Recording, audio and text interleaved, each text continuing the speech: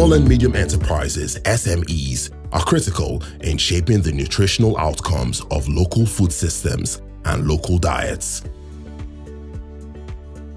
Chain Logistics help to preserve the natural nutrients in fresh fruits and vegetables by providing end-to-end -end cold chain logistics services. In Nigeria, over 45% of our fresh fruit and vegetables are wasted, valued at over $9 billion annually. Now, this should not continue, and that's why KCCL is here to reduce post-harvest losses in our fresh fruit and vegetables.